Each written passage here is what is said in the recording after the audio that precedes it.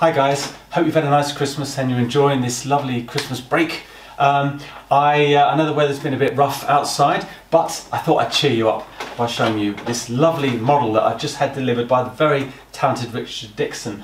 Um, this is called the Oppressor, which is a, a star fortress that appears in our new sci-fi movie of Infinite Worlds. I'll just turn it around so you can kind of get the idea. I mean, what a fantastic model. I'm, I'm so, so excited by this. I really, really am.